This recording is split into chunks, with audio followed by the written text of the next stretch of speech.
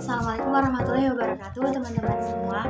Jadi di video ini saya akan menjelaskan beberapa hal tentang pemikiran dari Muhammad Arun Sebelumnya video ini dibuat untuk memenuhi tugas mandiri dari mata kuliah orientasi filsafat yang dibimbing oleh Ibu Ida Rahmawati.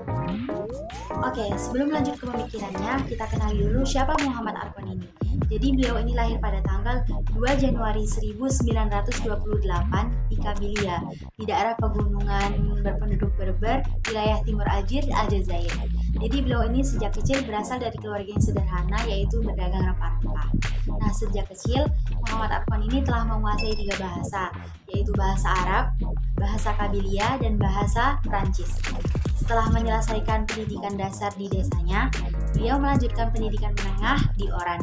Kemudian beliau belajar bahasa dan sastra Arab di Universitas Algier dan kemudian meraih gelar, gelar doktornya di Universitas Sorbonne.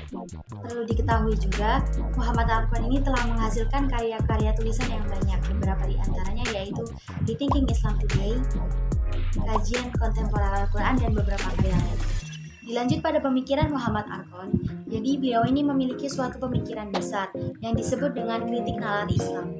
Nah, kritik ini juga tidak lain disebut dengan kritik epistemologi terhadap Islam.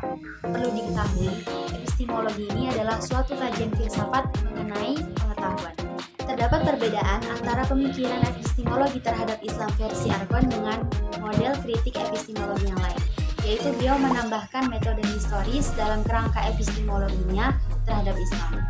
Nah, metode ini dinilai sangat diperlukan terutama dalam kajian Islam itu sendiri karena menyangkut pembangunan pemikiran terhadap Islam yang sudah menyejarah dan bersifat dogmatis.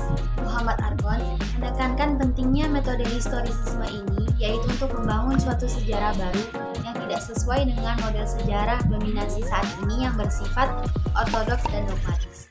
Ia menginginkan upaya pembersihan dengan mendekonstruksi nalar dogmatis masa lampau yang mendominasi hingga saat ini. Untuk merealisasikan itu, Muhammad Arkon menggagas Islam aplikatif guna membangun proyek kritik nalar Islam terhadap Turas Islam sebagai objek kajian terbesar.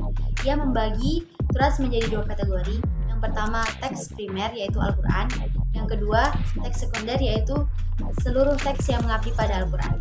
Nah, bagi Muhammad Arkon, syarat utama mencapai suatu keterbukaan dalam dunia modern bagi umat Islam yaitu dengan mendekonstruksi episteme ortodoks dan dogmatisme abad pertengahan. Dari sana, Muhammad Arkon terus berusaha untuk memperbaharui Islam dengan kritik epistemologinya agar Islam tidak terjadi kebekuan di dalamnya dan bisa terus dikembangkan oleh generasi-generasi selanjutnya tanpa ada ketakutan dalam membedah makna Islam di masa depan. Mungkin hanya itu yang bisa saya sampaikan mengenai pemikiran dari Muhammad Arkon.